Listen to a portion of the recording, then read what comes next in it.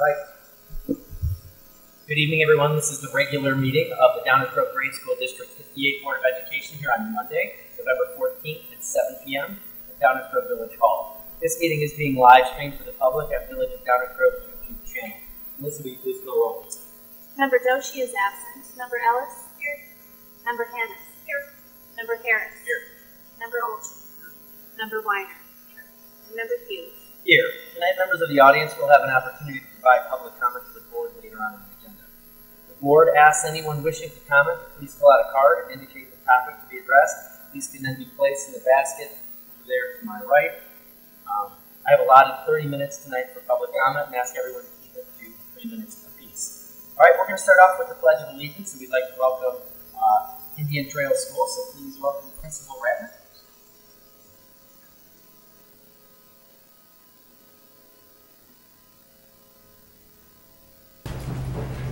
I pledge allegiance to the flag of the United States of America and to the republic for which it stands, one nation, under God, indivisible, with liberty and justice for all.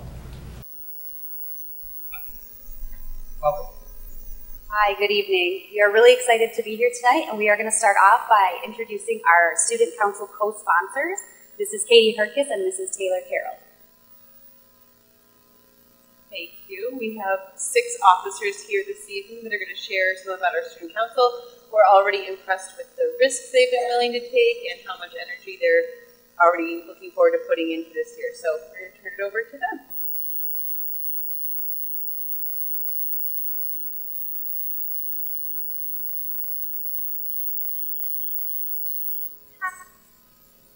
Hi, I'm Delaney Lawrence, and I'm the Spirit Chairperson. Some ways we are spreading spirit at Indian Trail are we just had our Red Ribbon Week to celebrate being drug free. We ended the week with some stickers. Another way we show spirit is on Monday we wear orange, and on Friday we wear our school colors, which are blue and yellow, to show our school spirit. One thing that the Student Council is planning to do is a kindness week in February. I'm very excited for all the spirit days that we will have this year. After all, spirit is very important.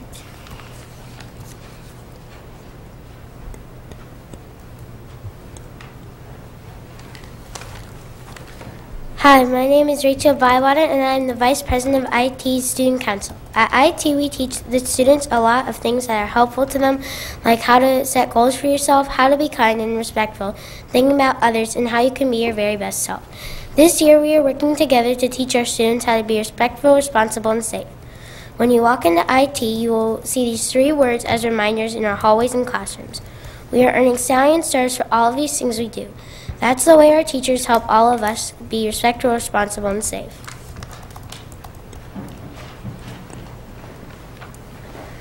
Hello, my name is Kaylee Brady, and I am there this year's IT Student Council President. Kindness is a major focus of everyone at Indian Trail. We will be having a Kindness Week later in the year to focus on spreading kindness within our school community. We also recently had our first Student Council meeting where we made ornaments for Downers Grove Community Tree.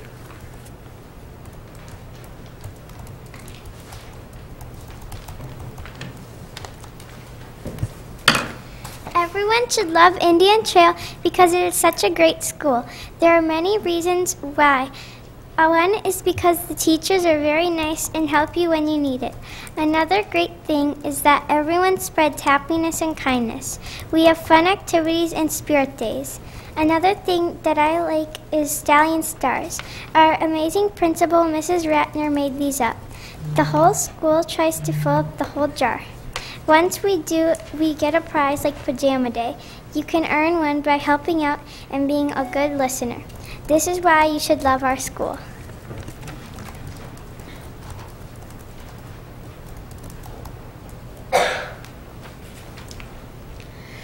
Hi, I'm Ethan Neidlinger Vogt, and I'm the treasurer of Indian Trail Elementary School Student Council. At IT, we are a community and we help each other. This can be seen by partners working together in the classroom. We have a grade level buddies, and our PTA supports our students and staff. In addition to just kindergarten through sixth grade, our school is special because we have preschool and the RISE program. One reason I love being an IT stallion is because everyone feels safe and welcome.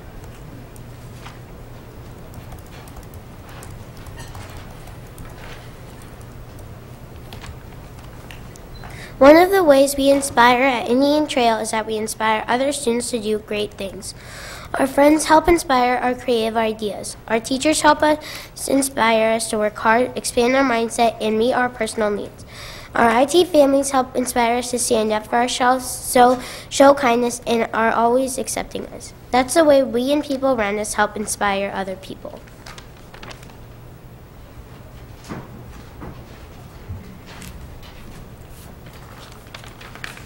Organization. Hi, my name is Sanvi Kumbar and I am this year's Indian Trail Secretary.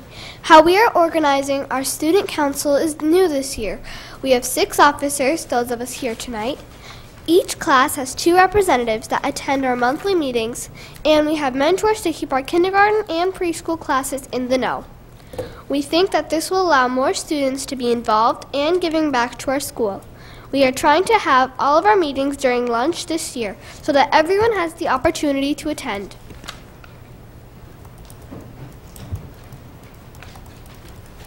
There are lots of new things happening at IT this year. We have a new principal, Mrs. Ratner.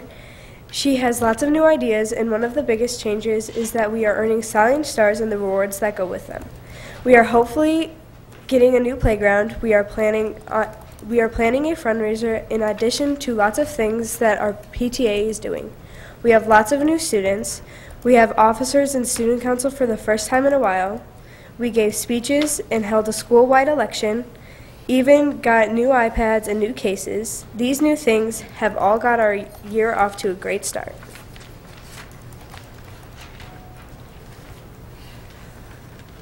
Service. Hi, my name is Molly Nichols and my job is service chair. Something that we plan to do is help the West Suburban Humane Society by making dog or cat toys. We would also like to have a Pop Tab collection collection to give to the Ronald McDonald House. We will be selling Spencels so that we can donate the money we raise, we raise to our new playground fund. Finally, we are planning to focus on keeping our outdoor area more clean. We want to buddy up grades to focus on picking up trash. We would also like to work on finding ways to keep the baseball field cleaner. Thank you for inviting us here tonight to share about the Indian Trail Student Council.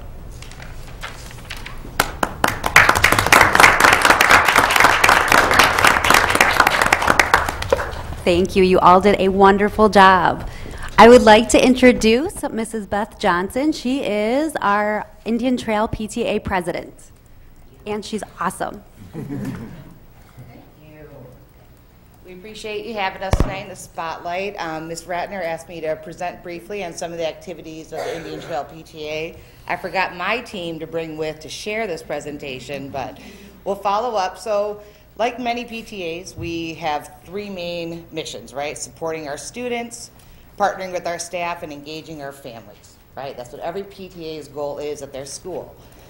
And one of the ones I wanted to focus more on tonight was the fact of our engagement of families. Um, we have a slightly different population at Indian Trail, right? Our percentage of low income folks is higher than others. We have a transient population. So our goals are to make accessible um, activities for all families that are involved. We can't have things that cost hundreds of dollars to attend because we won't engage folks that way. And we recognize it. So these are some of the things we do throughout the year that is either low cost or no cost that the PTA supports. Of course, in addition to doing field days and book fairs and all the traditional PTA things. So we just wanted to point that out that we make a concerted effort to be able to do that for folks and families so we all can feel part of the community and not excluded because of finances. So transitioning to the effort we had to make for the playground fundraising, it was quite a challenge for Indian Trail. Um, luckily, 64% of the budget was funded by the state of Illinois grant. I wanted to take a minute to thank Kevin Bardo. He has been fantastic working with us um, over the last nine months. Very open, always meeting with us, helping us along. But despite the fact that we were put up to a challenge of raising more than we do in an annual, like our budget annually, to come up with, we've been very creative and have been able to do a lot of things over the last, what is it, three or four months. We had a golf outing, we had a bags tournament, we had a board and brush, an open play. The students had a lemonade stand, which raised over $2,500 in one afternoon, which was awesome. Um, and of course, just the regular contributions and soliciting individual donations, right? So all of that to dates raised us about 17,000. We still have about 22,000 to go. Um, the initial budget gap, as you see in the middle, would have been impossible for our school to raise. It would have been impossible for our families to contribute that much money. And so thank you to the board for making that decision to contribute towards the playground for the preschool, because as you know, we're unique. We have the preschool and K through six. We have the RISE program, and that's part of what your equity concerns should be, right? How do you make it equitable so all schools can have a decent playground? And this was a great step towards that, because without it, we would not have come close to meeting our goals for the year. We do have some things coming up, so maybe you all want to contribute. We have a big teacher night. Uh, the staff has been fantastic at Indian Trail. They're doing uh, at McDonald's doing a teacher night to raise funds for us. We have the Got Sneakers donation drive. Um, Dr. Russell, I'm sure you have a lot of gym shoes with all your kids around. I do. For us, we have an online raffle that's happening through November 20th. Some really cool packages like Bears tickets and a patio set, like these donations that people got. And of course, we have grants and individual contributions. We have about another six weeks or so to raise that last 22,000. We're hopeful. Um, but really, we wanted to thank you all for your support because our school, again, would not have been able to even come close to have a nicer playground starting for next year. So thank you very much. Appreciate it. Thank you. Thank you. Okay, now on to the fun stuff. We're going to talk a little bit about Indian Trail data. So, as you can see, and you've probably seen from some of the other buildings as well, we have up on the screen um, some of our growth from last year. So when we are looking at this, you can see that overall, and this is according to our ECRA data, you can see that ELA school-wide, we um, were not, like we were close to making expected growth. Mathematics, we did make expected growth, so overall, we were where we should be. But you do notice that our um, ELA is in the yellow, and so that is definitely an area that we've been talking about as a staff, and I'll share a little bit more about that. So this breaks it down a little bit further by grade level. So we have grades three through six. So if you see for math, we are um, in a place where we have some higher than expected growth, we have some expected growth, and then we have some lower than expected growth. But overall, again, we are in hitting that expected growth target for our grade levels in math, which is exciting, especially given the new curriculum that was put into place. When we look at our ELA, we are in an area where there is lower than expected growth. And so that's definitely been um, a place that we want to focus on as a school this year. And it is, at, it is written into our school SIP plan, which I'll be sharing.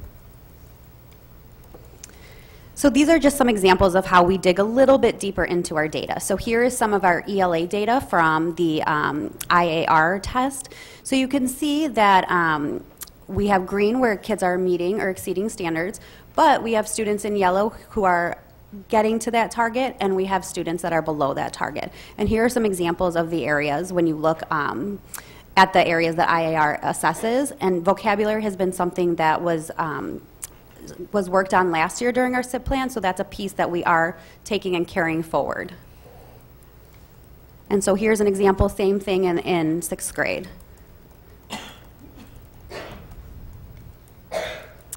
So, what are we planning to do about this? So, this year we are continuing to focus on the science of reading. And what's really great about it is that the district is also having a focus on science of reading. So, we are kind of hitting it from two sides learning about um, it from the district standpoint, but also we have some professionals in our building that are teaching us and um, working with us in order to help students in the area of reading. So this year, we are really working toward not only learning more about science of reading, but each grade level is writing a goal of where they want to go with the science of reading according to their own grade level data. And here's the why. So our AIMSweb and MAP data, which is our benchmarking data, they do support the need for improved reading instruction across all grade levels.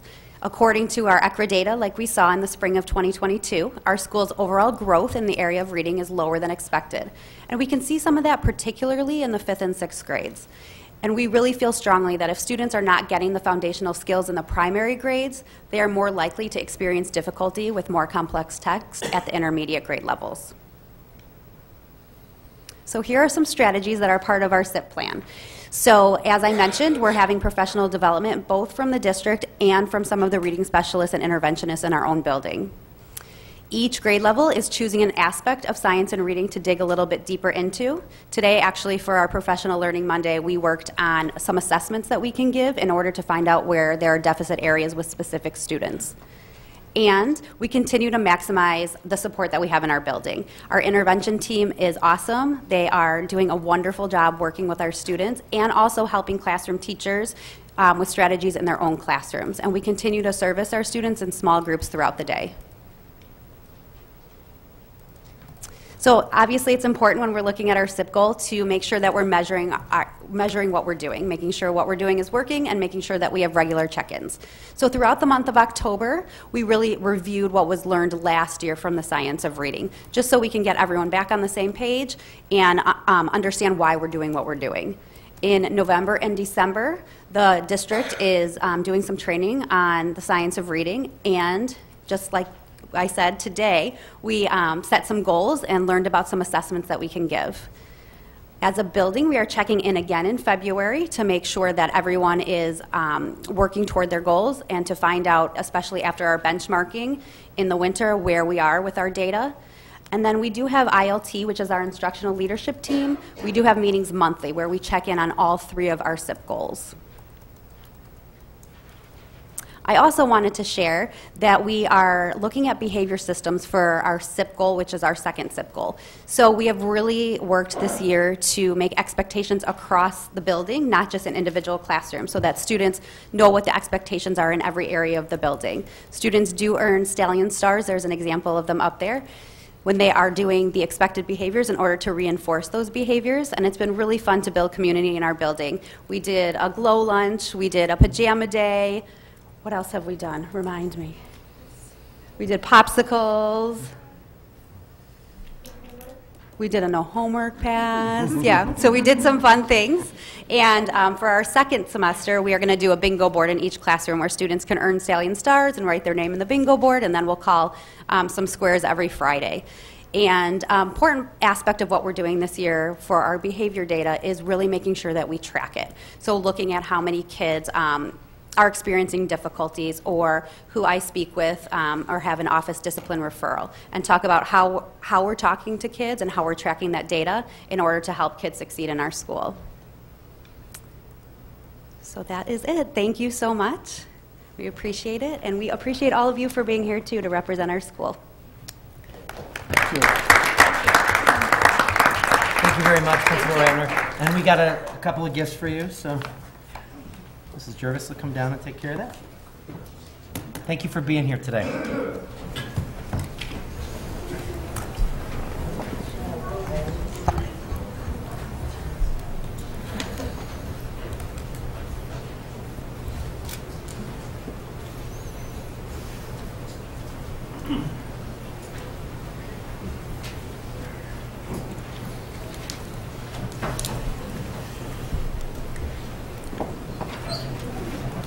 All right, listed on tonight's agenda are two communications received by the board. Are there any additional communications board members would like to share at this time? All right. That brings us to the spotlight on our schools, uh, school report cards. Welcome, Mr. Sissel. Good evening. Tonight, we're going to just take a brief look at Illinois report card data. We're going to look at the state assessment data. We're going to talk about summative designations, and then we're going to talk a little bit about the percentile rankings, which is one of the new ways we're looking at measuring our success through ECRA. Um, as this is night three of four in board meetings that I'm presenting on data and these kinds of things, this is going to be a summary level view, but there's a ton of information available both through the Illinois report card and at all of the individual school parent forums that I'll reference a little bit later tonight. So First, and though I know it's a little bit hard to see, the, the center picture there is what you see when you log into District 58's report card on IllinoisReportCard.com. And it just gives some overview information 13 schools, 5% mobility, our summative designations, IAR growth. And then to the left is a, is a snapshot of all of the different places you can drill down and get more information. Tonight, we're really going to focus on our academic data, and then I'll just briefly touch on the equity journey continuum, knowing that we're going to talk about that more in depth a week from tonight. So when we look at the next screen, when you click on academic progress, we see a few things. First, we see our overall IAR proficiency in the upper left at 47% for ELA, 52% for math. Just below that is our total proficiency as a district, which includes students who would have taken an alternate assessment from the IAR based upon their individualized education plan. And so those numbers are just slightly different. We see the growth percentiles for IAR. We see the participation rates for the state assessment, which is IAR and DLM at the right, and science proficiency up at the top uh, right corner. Also, again, you'll see eighth grade passing algebra 1, and just one version of a number of performance scatter plots where you can see different representations of the data as you click into that area again, one of the things we, we look most at this is we this is where we do look for that final confirmation on what our percent of students meeting or exceeding on the IAR. That's what that that's what they call proficiency. As a reminder, the state has designated level four or five out of the five levels of performance as proficiency for that assessment. IAR growth is calculated by the state in a couple of different ways. This is still the, the, the, at the at at the bottom line, they take a student at the individual level and say, what was my previous score, and then compare my actual score to all of the other students in my grade level that had the same previous score. So that's a, a real quick way of how they, and then that becomes by ranking that, each student has an individual growth percentile based on that, and therefore any group of students then has a growth percentile as well. For the summative designations, they calculated the, the distance against the 2018-19 cohort across the state, because that's the last time there has been consistent data across the state. However, for the school report card, they calculated IAR growth against the 2021 cohort of students, which is consistent with what the school report card has done for many years, which is why the state chose that. However, for us, Remember that we took that 2021 assessment actually in the fall of 2021, in the next school year, because in the spring of 2021 we had just made all of the preparations to bring our students back on site for a longer day, and we chose not to devote the first 14 to 20 hours of that new experience to state assessment. We pushed it to the fall. So we have no historical data to say how would our students have done compared to a fall administration of the IAR. The vast majority of Illinois did administer that assessment in the spring of 2021. So just another sort of asterisk in all of the data that we have as we go forward. When we look at ECRA, remember, they're, calcula- they're calculating IAR growth based on individualized student projections based on past performance, local norms, and considering that range of growth. And so, again, we don't want to dismiss the state's calculations because they are there and they are accurate in that method. We also just want to recognize that we have committed to looking at growth in different ways in District 58. And so this is previously presented data, but just as a reminder, this is what our IAR growth looked like via the ECRA platform for the 2021 school year in the spring in mathematics and in ELA.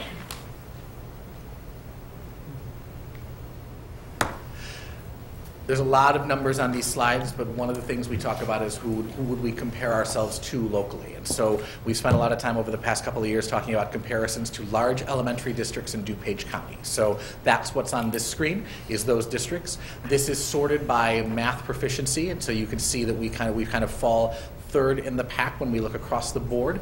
And ELA proficiency is actually very similar, would be fourth if we sorted it that way. It's worth noting some of the other statistics that do have statistically impact on some of these things. The um, low income percentages kind of grow as we descend, mobility rate grows as we descend, and also just looking at some of the per pupil expenditures and where we are at versus where perhaps 181 is that you know has a, a, a different uh, proficiency level than we do. And again, a lot here, so this is all publicly available, but I won't dissect every piece of it. The next comparison is just the District 99 group, so these are all of the elementary districts that send students to District 99. And again, this puts us, you know, in, in at the at the top of the pack in terms of math proficiency. It would put us about third in terms of ELA proficiency.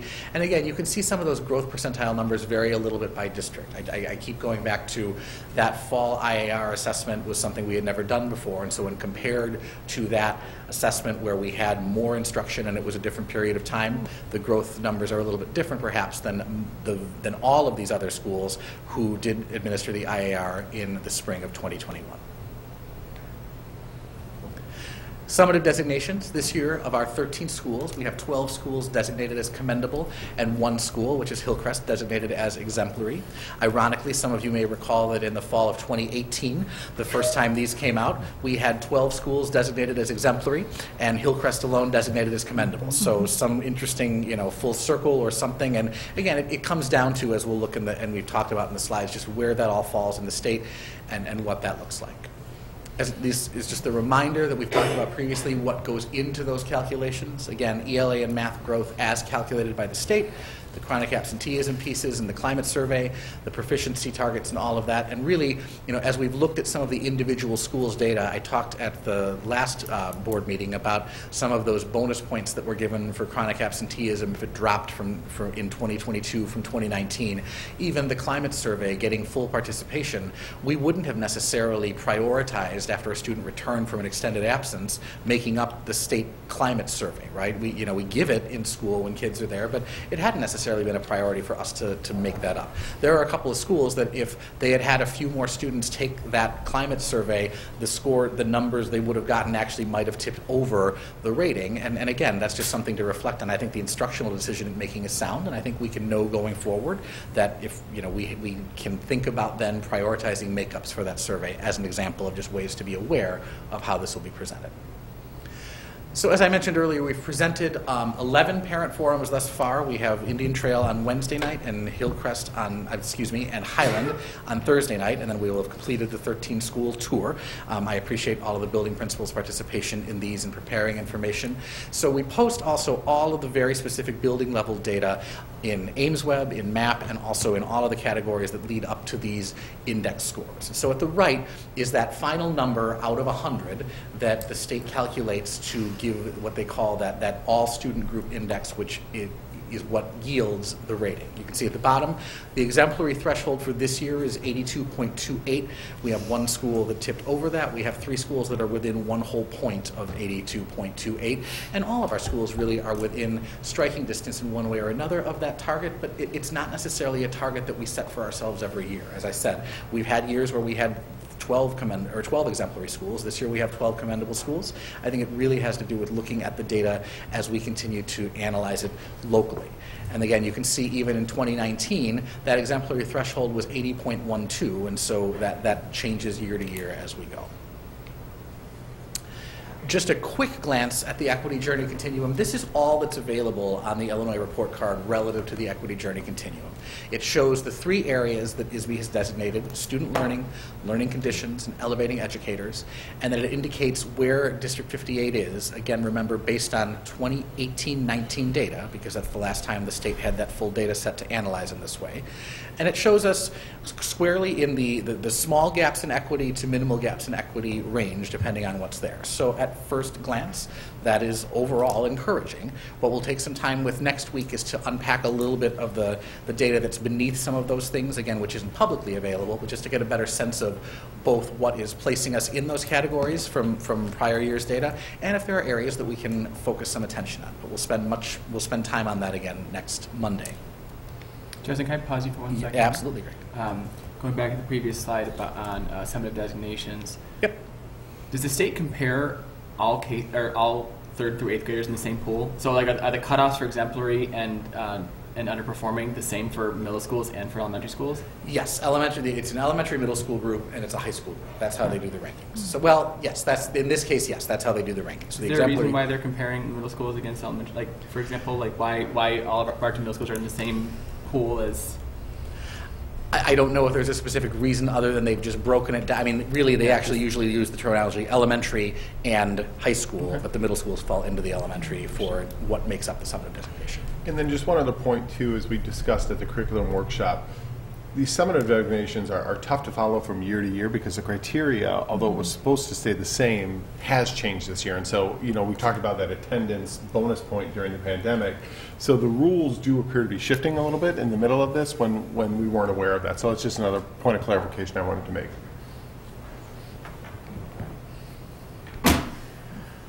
The next few slides come from an ECRA webinar that, came, that was presented after the report card data came out. And, you know, we've already aligned with this in, in terms of our achievement key performance indicator, but just to bring this back around, you know, they shared some of the reasons that it is, it's beneficial to look at, rather than raw data, to really look at those percentile rankings across the state in terms of thinking about how we do things.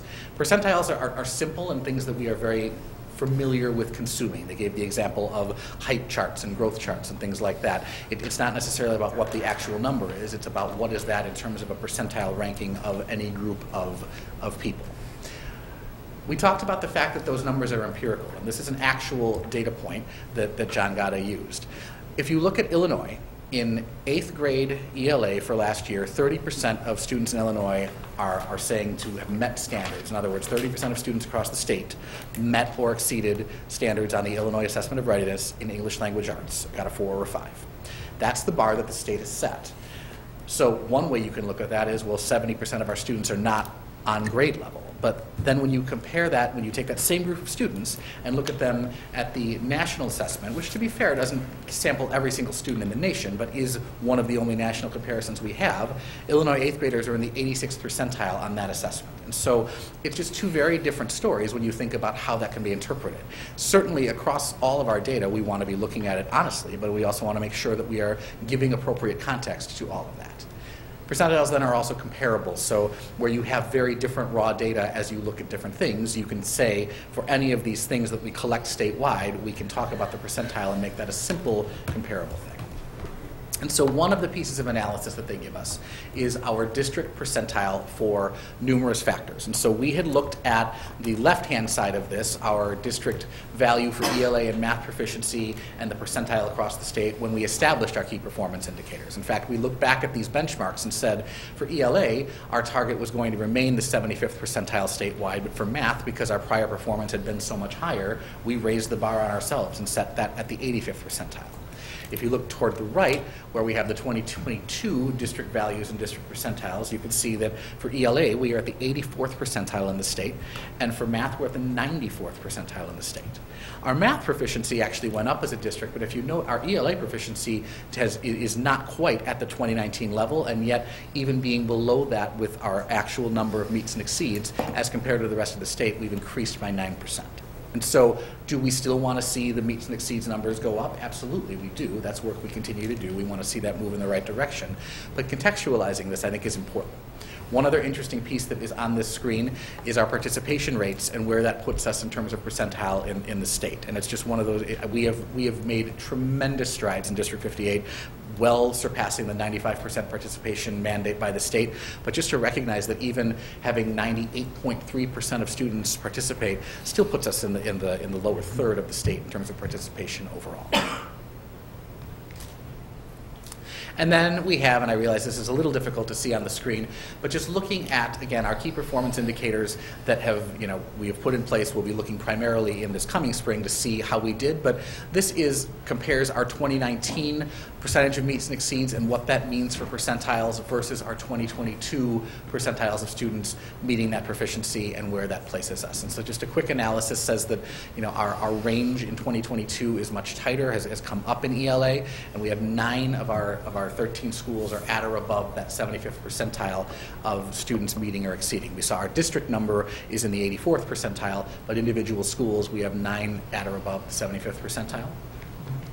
And then the last side is the same for math. As a district, we're in the 94th percentile. We have nine schools at or above the 85th percentile this year, and a range from the 68th to the 96th percentile. Again, this is when we rank all of the schools across the state. In this case, to Member Harris's earlier question, the percentile rankings are done differently by ECRA. So there's an elementary school district ranking and then there is a middle school district ranking. So those of you with sharp eyes will notice that some of the numbers for the middle schools don't exactly align to the numbers for the elementary school. Herrick, for example, on this screen is at 48.1% meeting or exceeding, which doesn't put it in order of meets and exceeds, but that puts them, because it's a middle school comparison, in the 92nd percentile across the state.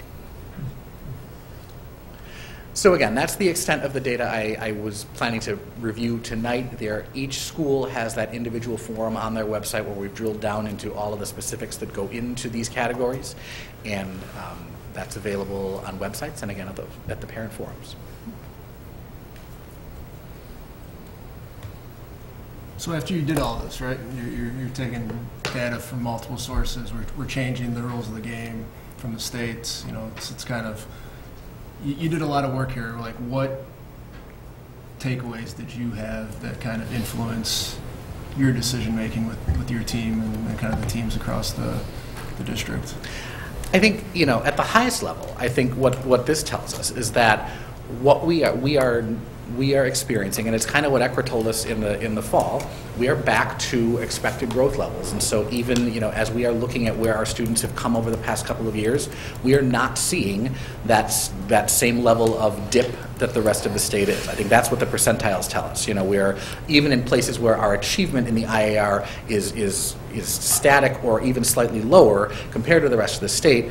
Our students have have begun to recover more quickly, and, and that's exciting. I think that is something to celebrate. I think in terms of decision making, what, what do, how do we respond to this data? It's been really exciting to hear each of the principals. You heard Principal Ratner tonight, but to hear them prepare for these parent forums and really identify what has already happened. You know, we didn't wait until we saw these rankings or the designations. This was all part of the school improvement planning process that, you know, you've heard us say for years, when that process becomes more robust, we're going to have more direct responsiveness to this data, and it really is coming to life. And I, each of our 13 principals is in great command of their school's data, their school improvement plan goals, and, and tangible, actionable things that are happening in the building that relate to those goals. So I think, you know, it's, it's, it's almost a, you know, this doesn't, at a building level, tell me anything we didn't already know. It's not really new data. The new piece is the, is the designations and, and, and the ECRA percentiles. But in terms of responsiveness to the data, it's what's been happening at the building level for the past six to eight months, and it, it really, it really is exciting to see that take hold in a meaningful way. When you look at just resource allocation, you know, taking it from a district lens and kind of focusing it on individual buildings. If I look at Indian Trail, ELA, so they're in the 61st percentile, whereas Lester's the 90th. How do you kind of look at um, resourcing and kind of helping that 61 become that 90? So if, I'm assuming by resource allocation, we're talking people, yeah, because that's mean, generally like, our re, the resource so, we have. So it sounds like you know, obviously each school has its own challenges that, that we, we do our best to address. But as you kind of see data coming in that shows that wide of a of a range of performance or achievement in, in this case, mm-hmm. how do you kind of look at how do we help boost up others that may not, may not be performing at the, at that highest level that we're seeing? Sure. So, I mean, I, again, it is part of it is that tier one school improvement planning. Like, what do we need to focus on in this building that will help raise student achievement overall, which will promote growth as well in terms of resource allocation, we spend considerable time each winter looking across all of the schools in the district, looking at the students who are identified in tier two or tier three, which place them as, them academically at risk or in need of support, as well as students who have been identified with IEP minutes. And we spend, I would say, several hours, you know, looking at that information and working to come up with a way to equitably allocate those resources across schools. And so we have actually seen increases in certain schools of intervention positions and things like that over the past few years based on that information. So I think that's, you know, that, and that data, it's not exactly looking at it from, from this this data set, we really look at that from the individual student needs, which should reflect in you know larger scale data like this.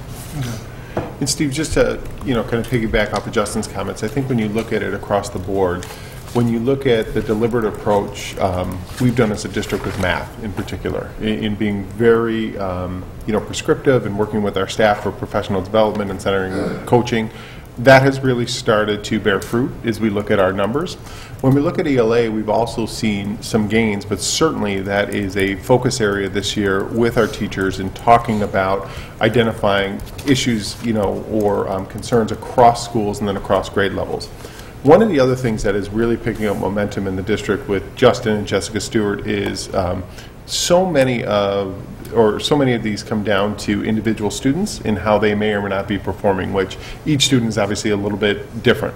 And so taking a look at our MTSS system and what supports do we have in place for each student who's below grade level and how can we help those students, whether that's through math intervention, whether that's through reading intervention, whether that's through more time in tier one, you know, all of those things, that's also taking place in the school improvement uh, data reviews. And so, you know, to, to answer your question, another thing that we have to continue to do is to look at each individual student and taking a look at the interventions that are in place and are they the right interventions? Are we seeing success? Why or why, why or why not? And then changing accordingly as, as we go through that. So that's another thing.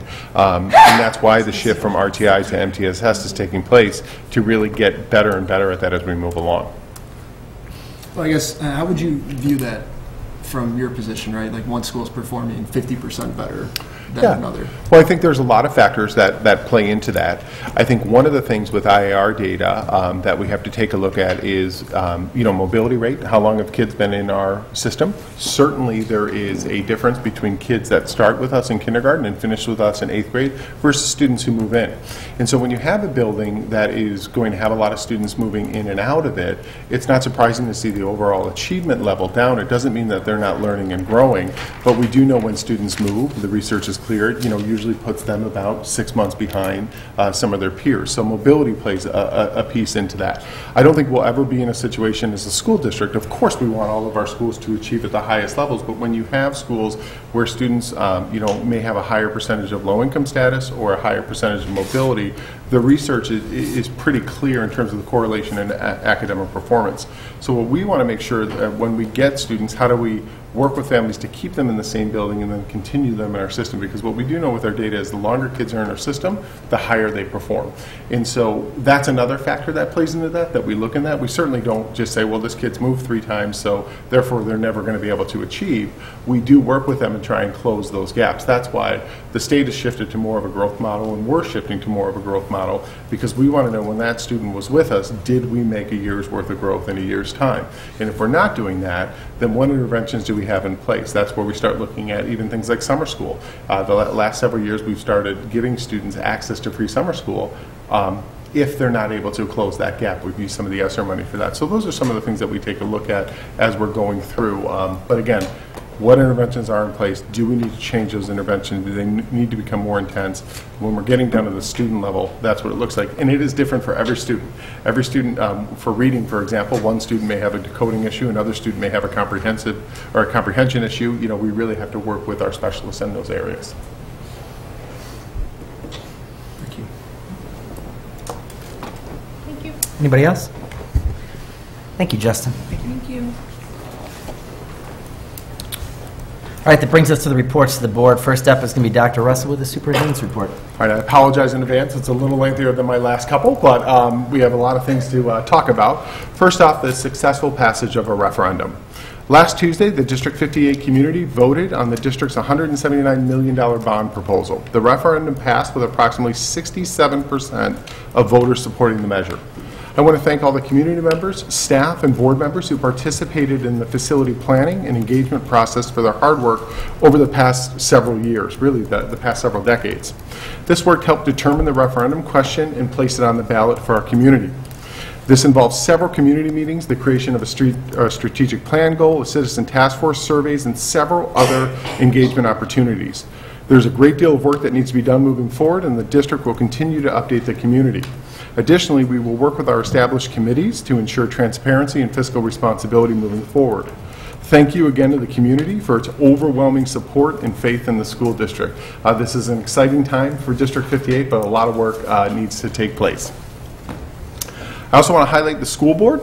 On Wednesday, November 2nd, the Board of Education was one of only 33 districts in Illinois to earn the IASB's, that's the Illinois Association of School Boards, um, Top Governance Recognition Award. On behalf of all of us in District 58, thank you to the Board of Education for their hard work, sacrifice, and dedication. It was an honor being with the board when they received that award, and congratulations. Tomorrow is November 15th. That marks the official statewide observance of School Board Member Day in Illinois.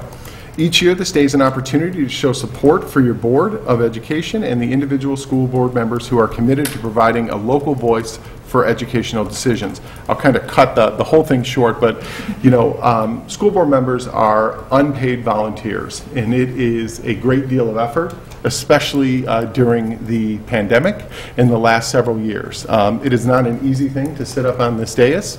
Um, At least the superintendent gets compensated for his time to sit up here, but I really do want to thank not only this board, but all the boards in District 58. Um, While board members or boards may have differences, they all, ever since I've been a, a teacher in the school district, everyone always is attempting to do what they think is best for kids.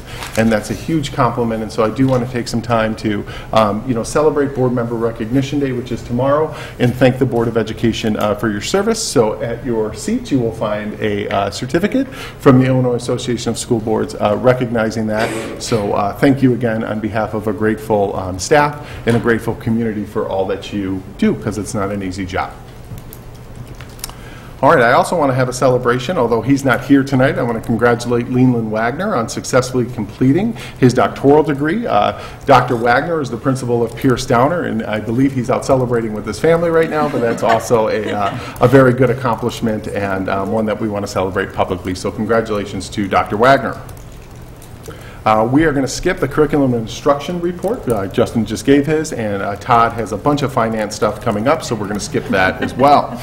In terms of personnel, I just want to let the community and the board know that the district has begun the process to fill two very important administrative vacancies for next school year due to the well-deserved retirements of Dr. Jane Uzentis, our Assistant Superintendent of Personnel, and Matt Durbala, O'Neill Middle School Principal. The district will conduct multiple rounds of interviews for each position, and hiring teams will include representatives uh, from all stakeholder groups. We hope to name the next Assistant Superintendent for Personnel at the December or January board meeting, and we hope to name the next O'Neill Middle School Principal at the February or March board meeting, which would be consistent with our previous uh, timeline. So again, we want to thank both Jane and Matt for all that they have done and will continue to do, and uh, just let the community know that uh, we are filling uh, positions like we normally do. In terms of technology, I want to highlight uh, some great work done by Dr. Eichmiller, which will be a huge savings to the district. Last spring, the district learned that we would be receiving a new private fiber optic network to connect our schools. This network will come at no cost to the district, with funding from both the state and federal governments. Over the summer, inside work was completed, and as of today, outside work on school property is completed in all but two schools. In fact, I think if you check Twitter, there's an actual picture out there that James put out. Over the coming months, you may notice uh, Terrazon Group trucks working throughout our schools and district boundaries.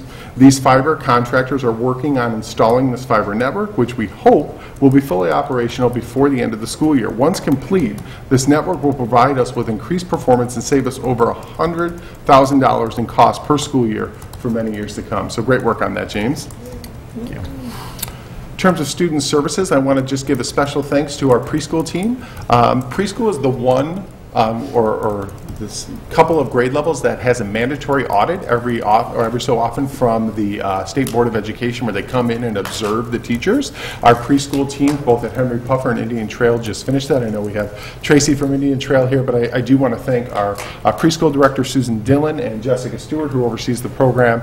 Um, it's a lot of work to go through that kind of an audit, especially with someone looking at you as you're doing it the whole time, and they did a really nice job. For those of you who don't know, our preschool program is a gold-rated program, which is the highest rating you can receive from the state board. And so we're very um, happy to go through another audit, and uh, we welcome uh, the findings, which will uh, become available in the fall. In terms of public relations, it's hard to believe it's that time of year, but District 58 invites the community to participate or volunteer at the Grove Express 5K on Thanksgiving morning in downtown Downers Grove. Uh, This community event replaced the Bond Field 5K last year, and proceeds will be split among the Education Foundation of District 58, the Downers Grove Rotary Club, and the Roadrunner Soccer Club. To learn more, you can check out the website grovexpress.com. Also, just another thing in public relations, and this is perfect timing because tomorrow we're supposed to get our first measurable snow. Uh, District 58 will send out its annual winter weather communication tomorrow to all families. This message will also be sent in Wednesday's Communicate 58. Families, please review this information so that you're prepared in the event school is called off or a remote learning day is called. It is definitely that time of year already. Facilities. Attached to the business office report is a review of the playground work that has been done throughout the district, playground updates, although part of the master facilities plan were not included in the referendum funds. District 58 has been very fortunate that both members of the community have stepped up, and Representative Stava-Murray assisted us with, with grants, um, over a million dollars in state funding. It's another great opportunity for grants. So there's a lot of work going on in this summer. While you might not see all the referendum work starting yet because the public bidding process and the design process, we will certainly be um, really trying to finalize a lot of our playground work so we can get that done before we move forward with uh, the referendum. And I'm going to end uh, by wishing everyone in the District 58 community a very happy Thanksgiving. Our team is truly grateful that we get the opportunity to work with the student staff, families, board members, and community members of the district. So happy Thanksgiving. And that concludes my report. Thank you. Any uh, questions or comments? Yeah, uh, Dr. Russ, I have a question. Um, when you talked about the, the work ahead for now that the referendum is passed and, and, and a lot of the, hard work is really starting in, in, in, earnest now, can you share with me your vision for how you see the district um, reaching out and collaborating with the community around a vision for how, for take for example, the expansion of both middle schools, how we're going to get uh, community feedback, uh, not just from our community, but from our staff and from our students and so on, uh, in terms of how we want that space to look? Yeah, it's a great question. So a lot of the feedback, um, we've already started that process, right, over the last several years, whether that is through surveys, the, the community engagement process, the citizen task force. Um, that helped us lead to the initial designs. Well, now that the referendum is passed, now we have to sit down with our architects and our uh, construction management firm that will be up for approval, and we've got to finalize that design process. So there'll be um, some opportunities for micro community meetings, and what I mean by that, one of the things that attracted us to the construction management firm was their willingness to meet with neighbors and talk about the impact that uh, the construction may have in their particular neighborhood. So that's a good example of that. Um, the other thing, though, that as we finalize the design process, the Board of Education will be the ultimate group that approves the final designs and approves the construction that's going to take place. But we certainly want to continue to gather feedback in several forms. And so first and foremost, because this is still part of the strategic plan, goal number three, the district leadership team will have a huge role. And the district leadership team is a very appropriate group to get a lot of that feedback and to bounce ideas off our architects and construction management firm because it's representative of families, two board members, um, and every employee group that we have. So that's one way that we want to continue to do that. Then, depending on the situation, we're also going to be seeking feedback from other established committees. So the FAC, the Financial Advisory Council, that's a great group that we want to bring back a lot of the financial things to to make sure we're on target. The Superintendent's Community Advisory Council will help advise me on whether we're hitting the target with public engagement. Do they feel they have enough information? And then, of course, just like District 99 did, there will be several opportunities for informational sessions prior to board votes on important topics like middle school design, where we can gather feedback from our staff and we can gather feedback from the uh, community. While many of the designs aren't going to allow for significant changes. Let me give you an example of that, HVAC, right? That's not something we can go back to the community and say, okay, who would like the pipe to go over here or who would like this to be here? You know, that, that's kind of already baked into the cake. There are certain things, like when we design the gymnasiums or the libraries, that's certainly we want to hear from our staff to make sure they're functioning. Um, when we design science labs, we want to hear from staff and the community. Is this what, are we hitting the right mark before we ask the board to approve those. So there will be engagement opportunities, and they'll be very similar to, you know, the community forums that we held before. Thank you.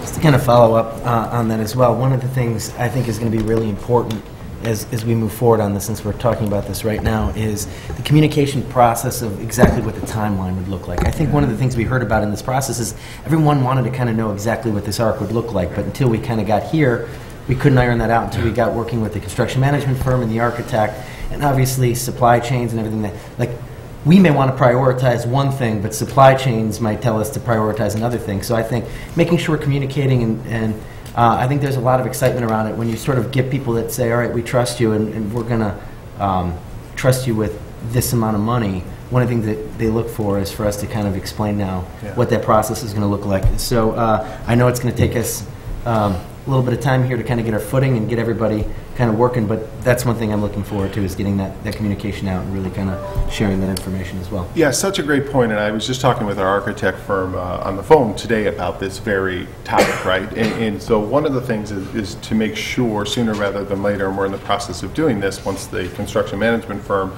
gets approved, we want our construction management firm and our architect to sit down and to talk about reasonable timeframes and when do we think we can get things accomplished so then we can put that out to the community about, you know, here's the batting order, so to speak, and this is how we're going to go through those.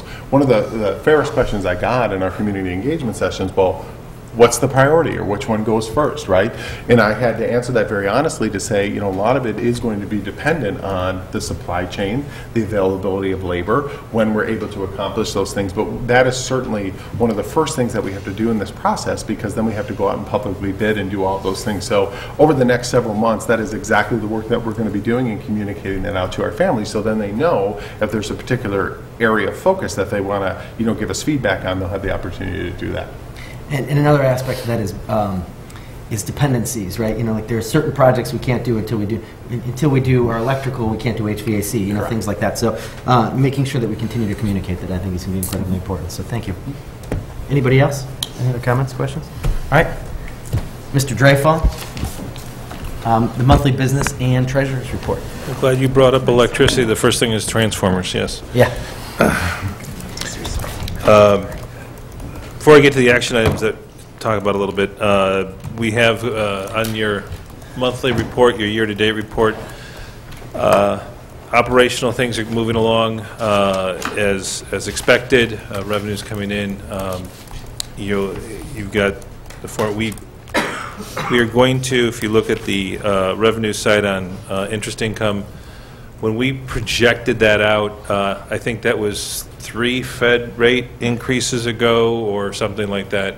Um, You know, we will probably hit 100% before end of calendar year, uh, which would be six months into the fiscal year. Um, So because of the other items on the agenda and because of um, what the voters approved on uh, Tuesday night, uh, you know that you'll have an amended budget uh, at some point at the year end because we'll have uh, adjustments uh, according to what we had planned and anticipated uh, when we had the refer, you know, the, the budget up to what will be actual at the end, so we'll make those adjustments.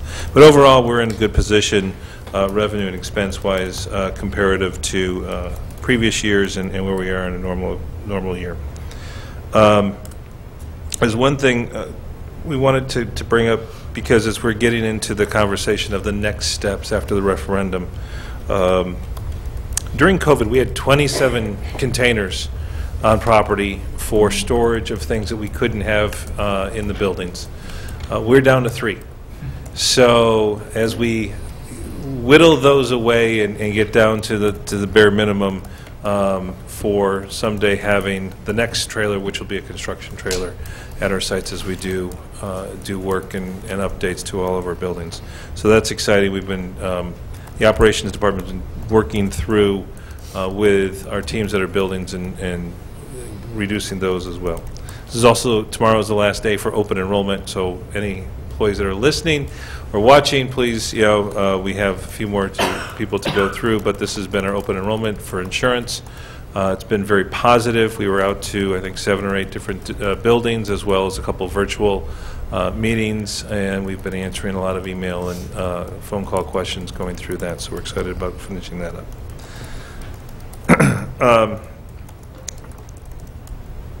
You have on your, um, as, as promised a couple months ago, uh, when the board uh, went through and prioritized uh, the companies um, for construction management, uh, we said we would bring back at this meeting, uh, provided there was a- a favorable vote, um, a contract, a base contract, Uh, and that is what you have in your documents this evening uh, for construction management, uh, for the, the, the top pick that uh, we had ranked as number one of Bulley & Andrews. Um, And so that is before you, that is uh, helped, it was prepared and worked on uh, with them and with our legal firm, Hodges Loizzi, uh, to come up with the baseline piece. There will be addendums uh, to that contract as we work through the process and develop the structure system that gets into a little more detail of what parts become a project. And, you know, does that include all of the additions in, in in the middle schools as one project and that type of thing, uh, as we get into the nuts and bolts.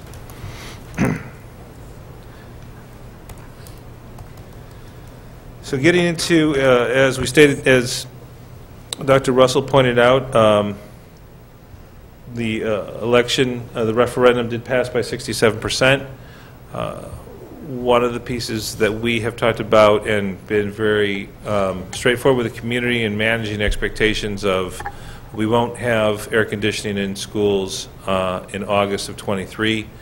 Um, It will take some time. Uh, The next steps are, you know, working on that process and getting uh, everyone working towards building drawings uh, and so forth. To do that, we need to have some funds, and we need to, to start that and, and, and move that process up. Given volatility of market, um, it's advantageous to do that uh, sooner rather than later and, and, and reduce interest rate risk. To that end, we have an agenda um, that we have uh, before you two resolution, parameter resolutions for the board uh, to move that to the next steps, um, where they will be going out uh, and, and starting to, to market and, and sell those bonds. Uh, We have two uh, rating agency meetings set up for tomorrow. We are going to be presenting to Standard and Poor's and to Moody's um, tomorrow morning and afternoon. Um, We've had those set for some time, and um, that is our next step moving forward. By the end of November, we will uh, be pricing the bonds and developing and having those come into sale. Uh, A couple of the things we wanted to point out to make sure is that um, they're tax exempt bonds as such, uh, and under the state of Illinois, uh, we have to have a reasonable expectation of spending what we're going to borrow initially in a three-year period. We've developed kind of a rough sketch as to what that is, uh, and so therefore, our first initial number, even though the parameters resolution is a full 70 179, is probably going to be significantly less than that. It's probably going to be somewhere in the about $120 million range um, as the first issuance, because as we've talked about, we won't be doing heavy, heavy construction next summer. We'll be spending 10 or 15 or 20 million dollars, like we will do the following in the, in the summers after that. Um, So that makes that adjustment as to what we think we're going to spend in those two, in the next three, um, as to what our ask will be in the initial piece.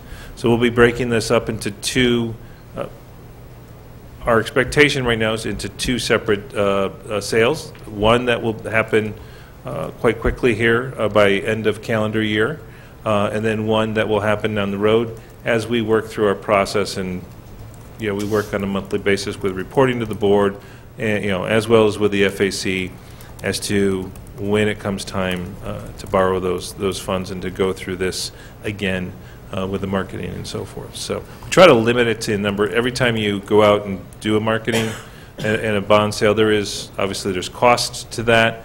We try to minimize those, uh, but in this case, um, you know, it's just that what the law requires and what our timeframes are for how we, um, how we're going to, to work through that.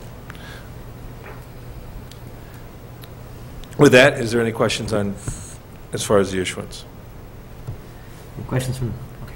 No, I feel like we've had a thousand, the FAC, we've had a thousand conversations. Yeah, we've, yeah, we've, uh, yeah, the FAC went through this in a little more detail and, and, and, you know, in the conversation as to how we're, you know, working this through, so.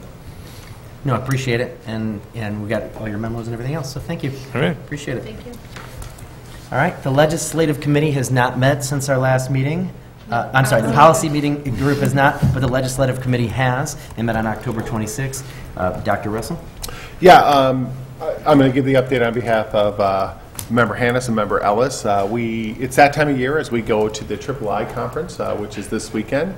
Uh, At the Triple I Conference, there's an opportunity um, to have a delegate from the board uh, vote on resolutions or action items that the ISB wants to take. Um, Just to be clear for the community, these are not um, resolutions that turn into law. They are more of adv- advocacy statements or, you know, to the mission and vision of the Illinois Association of School Boards, but we do think it's a good thing that they let their members weigh in on those. And so um, on uh, the action items today, uh, under the consent agenda, which is our typical format, you will see what those resolutions are. They are much shorter this year. I think in previous years, we've had north of 20. This year, I believe it's eight or nine. Um, And uh, they did include, though, in the report of the uh, resolutions, which are submitted by member districts, and then there's a board that, you know, determines whether or not they're going to move those forward at ISB. Um, They did include all of those, but very few of them made it all the way uh, through. And so we, what we do as a legislative committee is we take a look at these, we, we look at the rationale of the district that submitted them, and then we look at the rationale of the ISB board that is saying whether or not to, you know, adopt that resolution or not adopt this. We had some very healthy discussions while, um, you know, it's not a binding vote or anything like that. Um, all of it was unanimous as we went through uh, the legislative committee. And um, in terms of the recommendations, the committee is actually matching all of the ISB recommendations this time, which usually doesn't happen, but this time it did. And certainly, um, as we get into the consent agenda, if anyone has anything they'd like to pull off separately, that, that is permissible. Uh, But if anyone has any questions about the dialogue that we had as a committee, I'm, I'm happy to answer any questions that you have. So it seems like um, in the past we've had a little bit um, of some more controversial um, resolutions on the list here, um, and we have, like you said, we have seen some misalignment between what the IASB is recommending and what our committee eventually recommended. So I guess around any of these items, would you describe any of the con- would you describe would you say there's any friction among the committee in terms of um, coming to consensus on on any of the issues? Yeah, I, I would say there were two kind of talking points this year. Um, first, there's a lot of wishes from member districts that the State Board of Education or the state would find money to grant things to districts. And, and I think there was um, some healthy skepticism on the community about whether or not it's even worth going along with the recommendation because the state would never do that anyway. Like, so you've got a couple on there like, we want increased funding for safety in schools, or we want increased funding for construction in schools. And, and I think given the state's track record, several members expressed their, you know, is, is this really ever going to happen? Um, but we, um, having said that, the members of the committee, uh, the majority of them did not want to be in a position of not being in favor of the state giving school districts grants for construction for obvious reasons or, or safety. Um, in the past, there have been, well, the most controversial one since I've been a superintendent in the state of Illinois is whether or not staff should be armed and whether or not that should be something that the IASB should actively lobby. Um, that did not make it through this year, so that was not one that we discussed.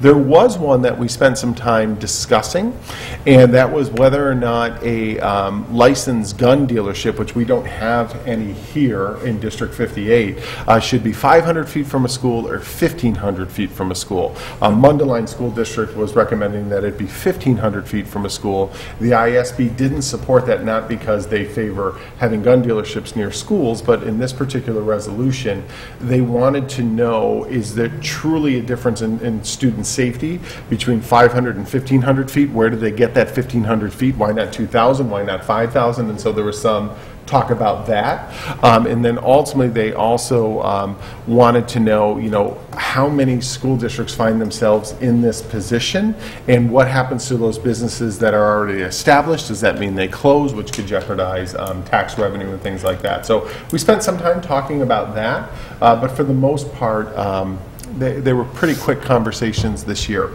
Another one that we talked about was Naperville School District 203 was recommending that the state provide uh, funding for electric school buses. Uh, Naperville, unlike District 58, is a district that has its own busing, and so they're advocating for um, getting grants for the state.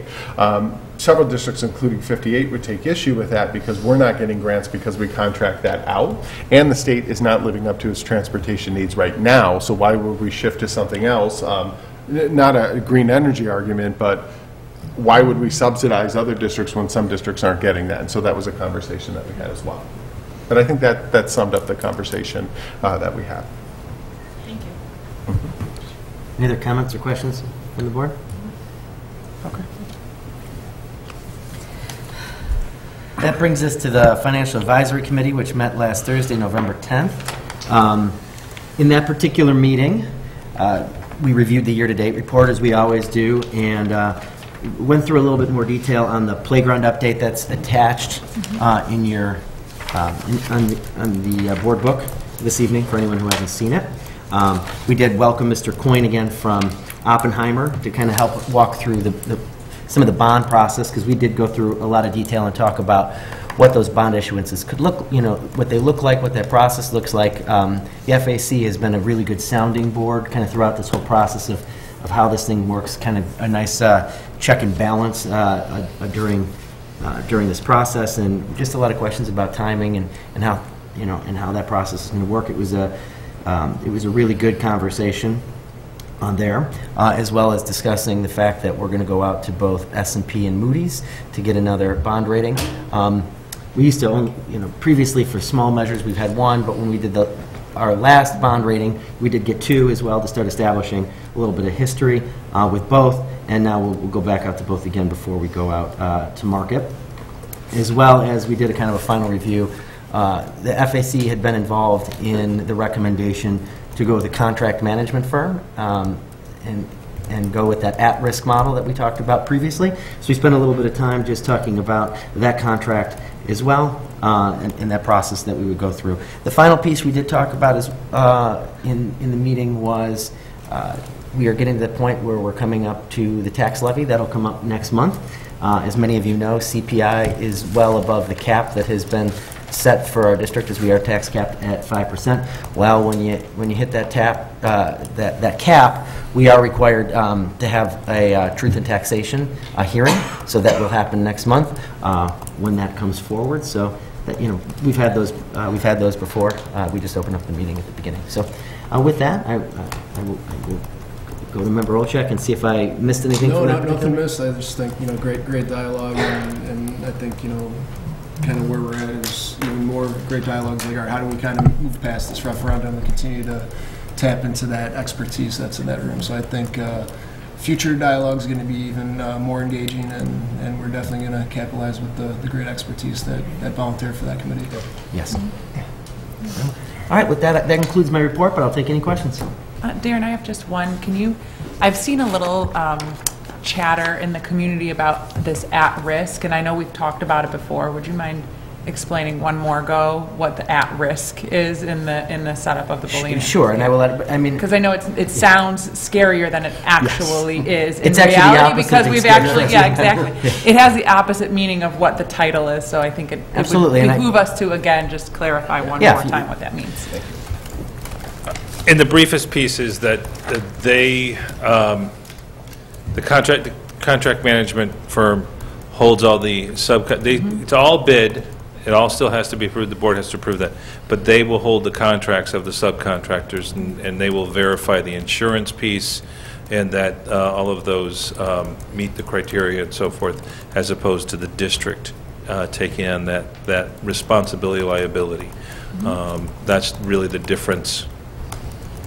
Anything I'm missing?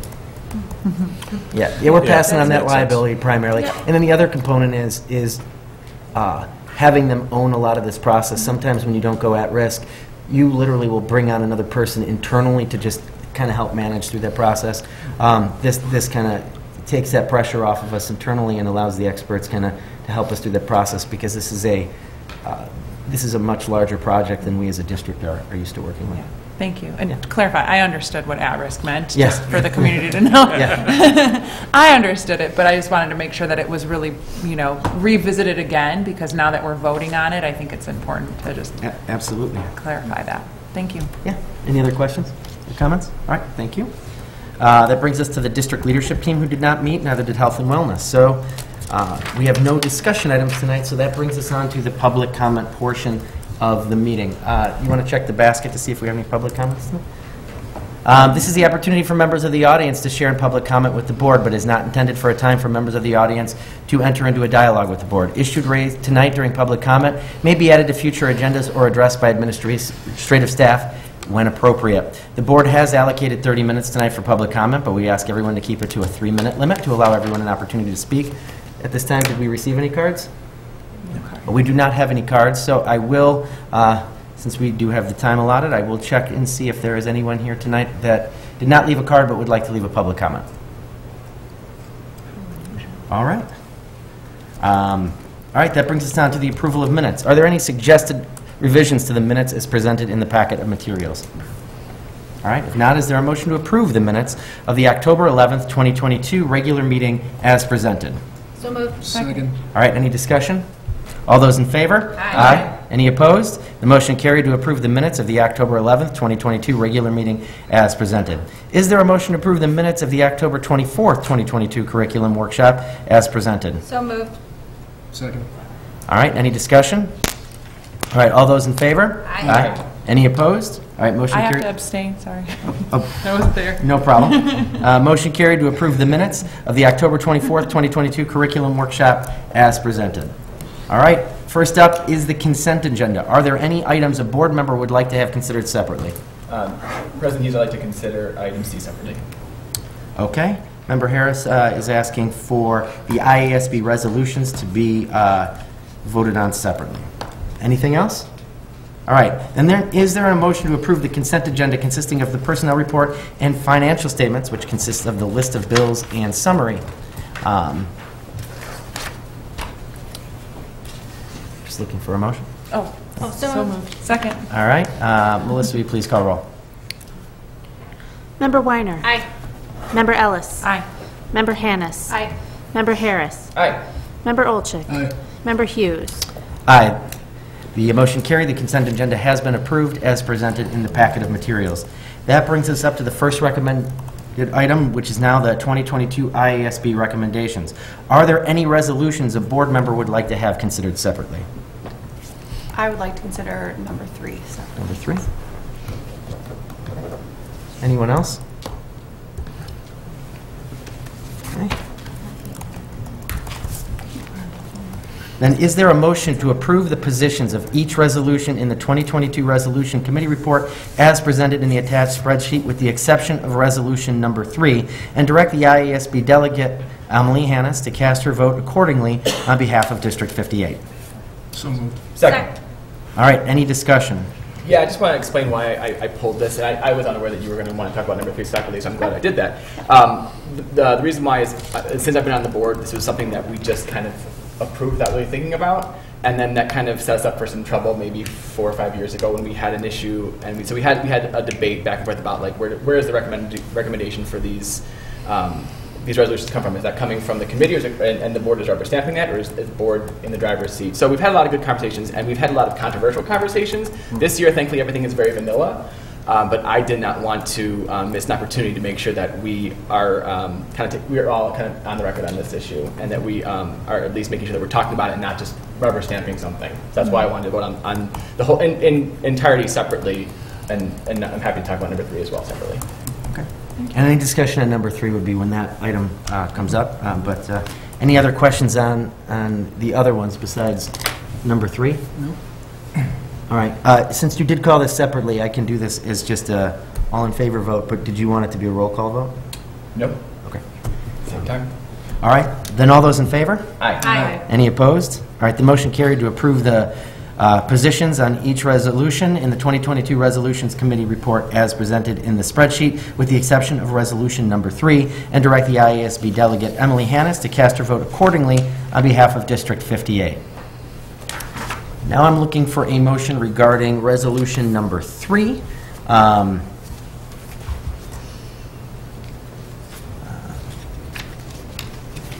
I don't know if I need to read resolution. Is the mo- is the Right motion here. going to be a- to approve it or to not approve it? So the ISB is recommending that this not get adopted. So then, So so then if member a vote Hanson- for yes would be to not Well, it adopt. depends on what member Hannis is proposing. Is she, is she, is her, is her uh, um, motion to adopt. The motion was to take it separately. So uh, the recommendation that came in with, on the board tonight is to, uh, a yes vote would mean to recommend not to adopt. If you, if you want to adopt it, you would vote no. So I just need to hear the, the, re- the language of the, of the. Right, Yeah. just of the ask for motion. her motion. Mm-hmm. Oh, you want me to? Yeah, so Oh, she should oh. have a motion to Oh, either okay. adopt I- or I not see. adopt. All right. So then I just need the dialogue for, Yes. how, how you, how would, you you would like to present the motion, yeah. Well, the, I mean, my understanding is that the motion is, the committee was recommending to not adopt that particular resolution. Um, I just wanted to separate that from the rest so that we could discuss that one separately and have a vote on that one individual item separate from the others. So do you want a motion? Committee's recommendation. Do you just want the motion then to be, number three, um, is the motion then to support the ISB to not adopt the firearm dealer location resolution? And then, That's not what I want the motion to be. I understand, is that how you want the language to be, and a no vote would Sure. mean yes? Or, or do you want me to flip it and No, vote- and I would ask it the other say it way? makes more sense to keep the Keep it aligned. language So you- aligned with the other vote Okay. on the. So your word- motion is other- to adopt the, the resolution from Mundelein CHSD mm-hmm. District 210.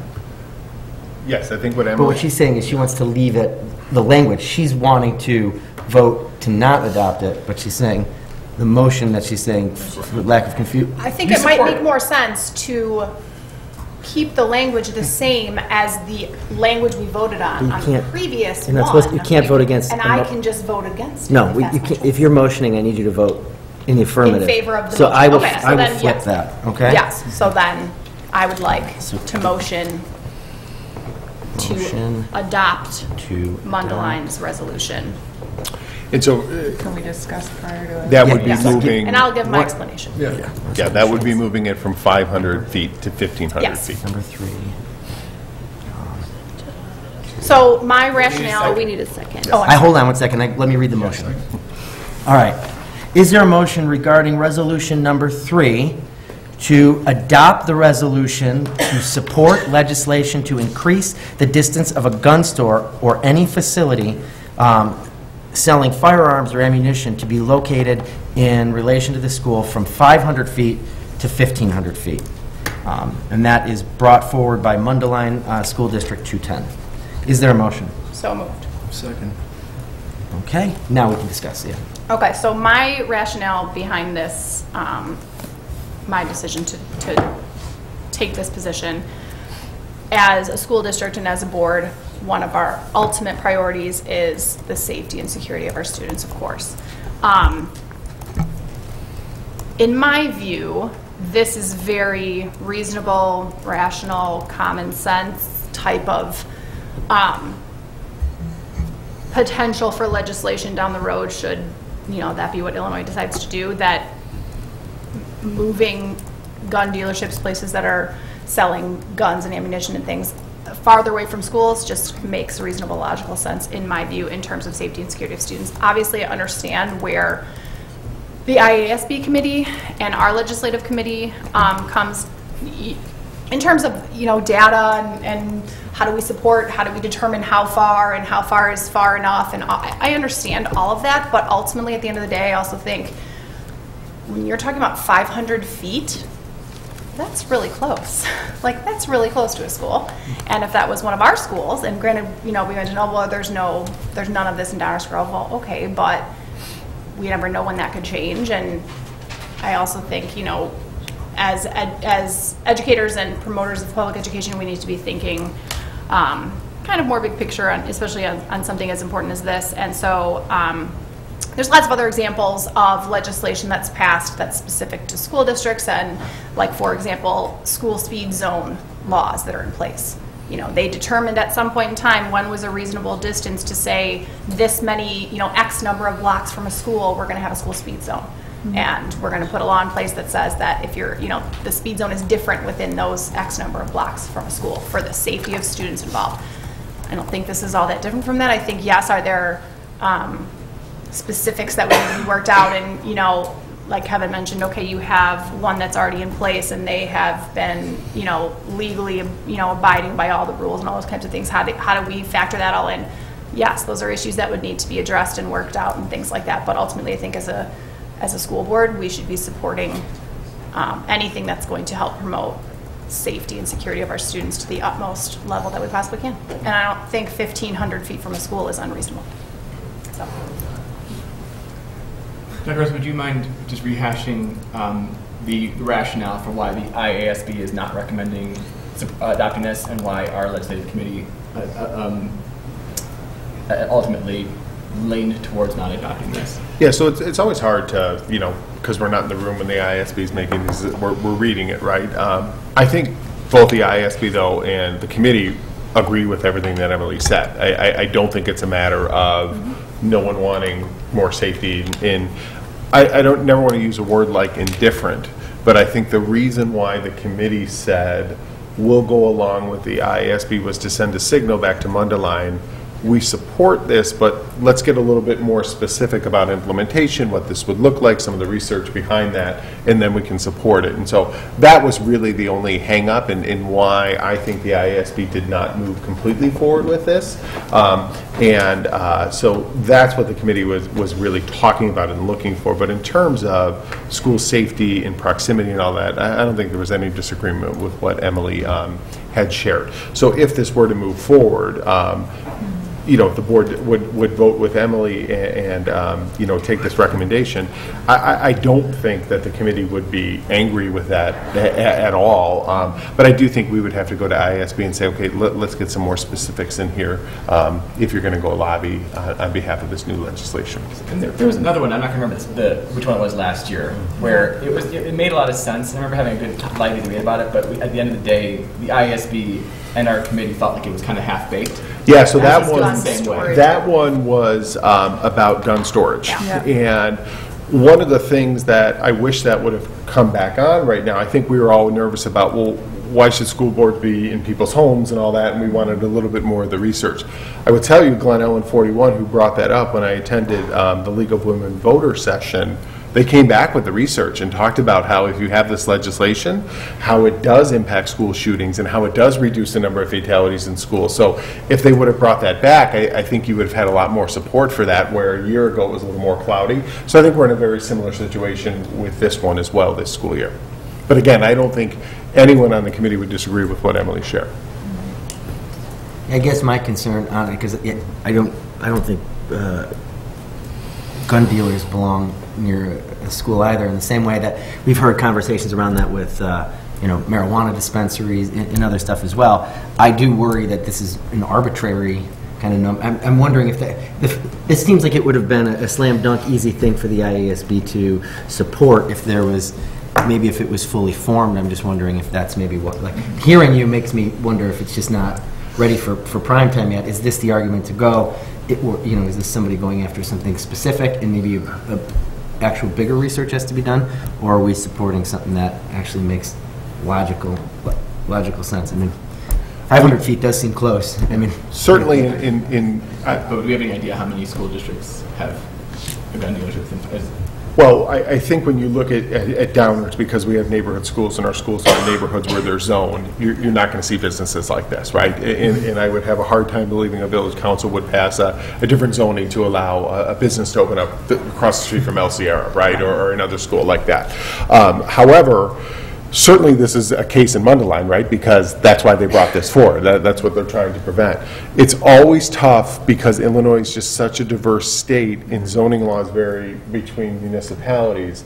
This could be a reality in some towns where some towns are worried about losing a local business or may have a different, you know, um, take on guns or, or whatever the case may be. Um, so again, the, the committee conversation, we just wanted some more information about what this would look like and, and, and how this law would be implemented. It wasn't about, you know, we, you know, aren't concerned about gun violence or anything like that in our schools. Well, I think, Darren, to your point, one of the hard parts about it is, like you said, you know, without the data to support it, how do you know? Or, or maybe we just need to have this more fully formed before we can get behind it. But I- I think also part of it is if there's never, if we never like put any pressure, so to speak, on issues like this, do they always just like linger and nothing ever gets done? Whereas if you get a lot of support behind something, you're kind of forcing the hand of lawmakers to come up with the solutions and to come up with the, okay, let's, let's really dig in and research and figure this out.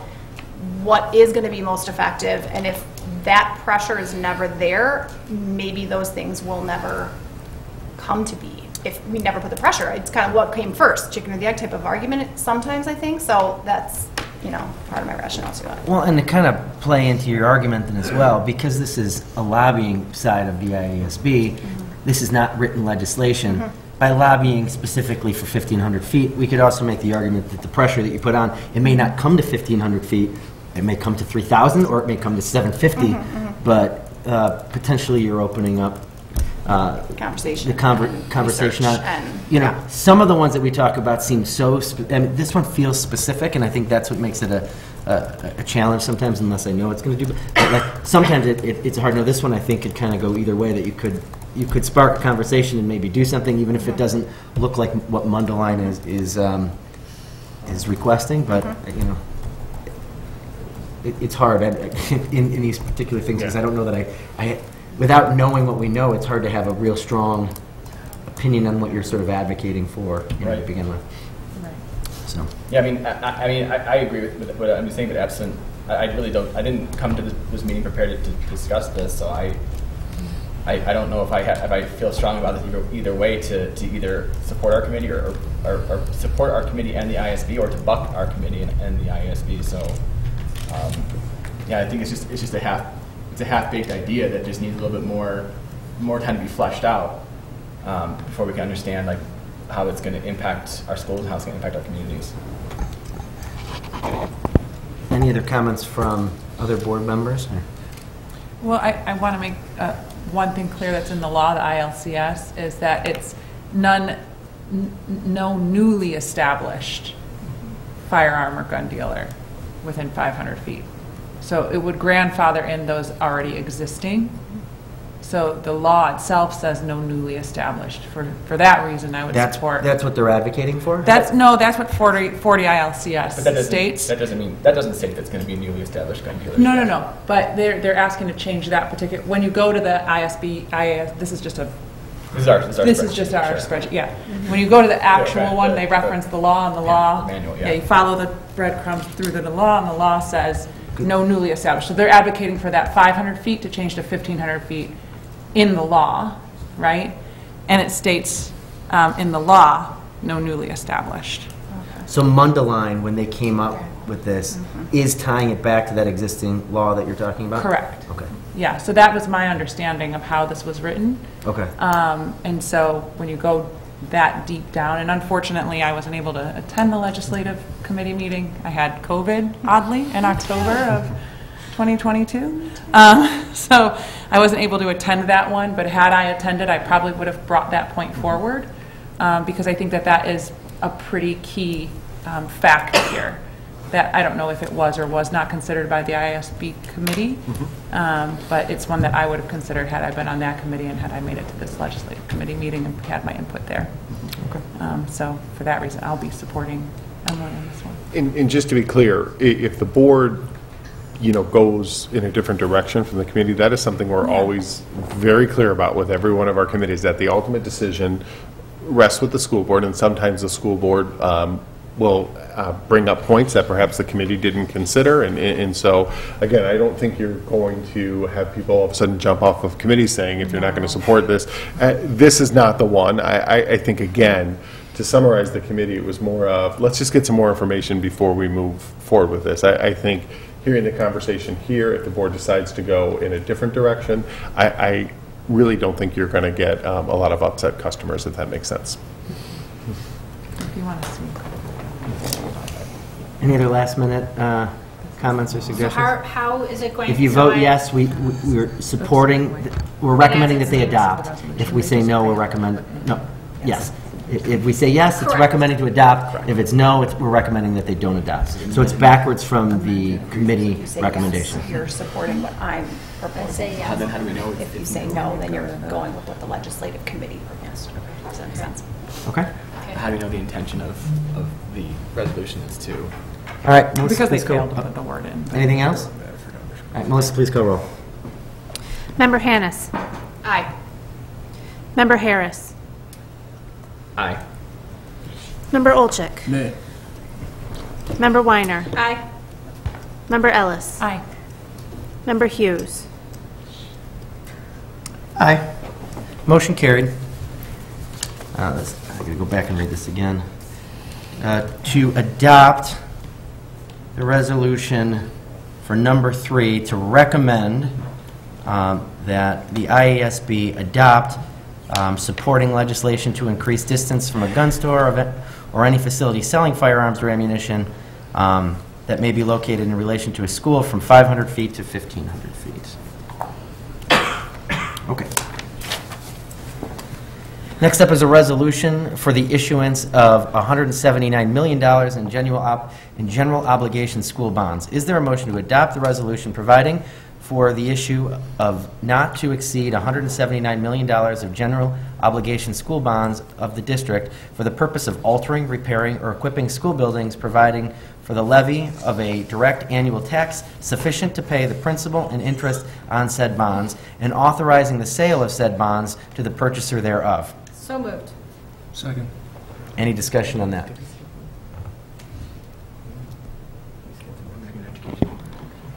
We can come back to it. You read it, did all the readings, we might on that after. Oh, yeah, I'll do that one next. Okay. Uh, what do we need, a second?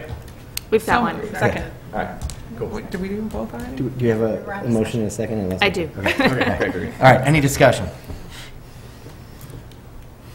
No? All right. Melissa, please call roll. Member Weiner. Aye. Member Ellis. Aye. Member Hannis. Aye. Member Harris. Aye. Member Olchik. Aye. Member Hughes. Aye, the motion carried to adopt the resolution providing the issue of not to exceed $179 million of general obligation school bonds of the district for the purposes of altering, repairing, or equipping school buildings, providing for the levy of a direct annual tax sufficient to pay the principal and interest of said bonds, and authorizing the sale of the, of said bonds to the purchaser thereof. Next up is a resolution for the issuance of $3 million taxable general obligation limited tax refunding bonds. Is there a motion to adopt the resolution providing for the issuance of, uh, or the issue of not to exceed $3 million taxable general obligation limited tax refunding bonds of the district for the purposes of refunding certain outstanding bonds, providing for the levy of a direct annual tax to pay the principal and interest of said bonds, and authorizing the sale of said bonds to the purchaser thereof? So moved. Second. All right, any discussion on that one? All right, Melissa, please call roll. Member Olchik. Aye. Member Weiner. Aye. Member Ellis. Aye. Member Hannis. Aye. Member Harris. Aye. Member Hughes. Aye, the motion carried to adopt the resolution providing for the, the issue of not to exceed $3 million in taxable general obligation limited tax refunding bonds of the district for the purpose of refunding certain outstanding bonds, providing for the levy of a direct annual tax to pay the principal and interest of said bonds, and authorizing the sale of said bonds to the purchase thereof. Is there a motion now to adopt the American Education Week resolution as presented? So moved. Second. All right, any discussion on that? All right, all those in favor? Aye. Any opposed? All right, the motion carried to adopt the American Education uh, Week resolution. All right, and last up is the construction management contract. Is there a motion to approve the construction management contract with Bulley and Andrews as presented? So moved. Second. All right, any discussion? I just have one thing that's not going to derail anything, I promise. Um, Ongoing, we've talked a little bit about what our expectations are going to be on a go-forward, and I know that we have some representatives in the room, I can see. Um, So for me, as we go forward through the architecture plans and the awarding to contractors and subcontractors, um, I think it's incredibly important that we keep our eye on, and for those that are going to be on the DLT and the FAC working on this on the board, um, that we keep our eye on um, our contractors and subcontractors having the proper certifications for the materials that they are installing. Um, It's not required by law to have those kinds of certifications, but it will help with timeline and cost, um, and will help us with not having a lot of rework having to be done if things are done incorrectly the first time. So I just want everyone to pay close attention to that, please, on an ongoing basis. But I read through all of these very lengthy um, documents. Thank you for all your hard work on them, um, to the team that worked on them, because I know that there was a lot done on these. Yeah, Thank you. All right, anything else? Any other comments or questions? All right, Melissa, please call roll. Member Weiner. Aye. Member Ellis. Aye. Member Hannis. Aye. Member Harris. Aye. Member Olchik. Aye. Member Hughes. Aye. Uh, The motion carried to approve the construction management contract with Bulley and Andrews as presented. We do have some representatives, some Bulley and Andrews. Uh, If you'd like to come up and just introduce yourselves, then uh, you can meet the board.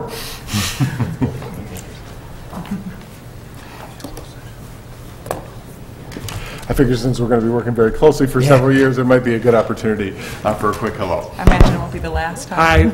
Hi, uh, my name's Tim Puntillo. I'm Chief Operating Officer with Bulley and Andrews. I've been there uh, for 26, 27 years. Um, You know, we're a 131-year-old firm, so I'm just a young pup there. Uh, But we're super excited to be working with you all and, uh, on this exciting project. Um, And that's about it. Thank you very Thank much you. for coming. Thank We look forward to working with you. All right, a couple of announcements. Uh, The district leadership team will meet at O'Neill Middle School on Monday, November 21st at 3:45 PM. And we have a curriculum workshop coming up later on in the month at O'Neill Middle School on Monday, November 21st at 7 PM. All right, the board will now move into closed session to uh, to confidentially, dis- uh, is- is there a motion to move into closed session to uh, discuss the placement of individual students in special education programs and other matters related to individual students? That's 5 ILCS 122C10.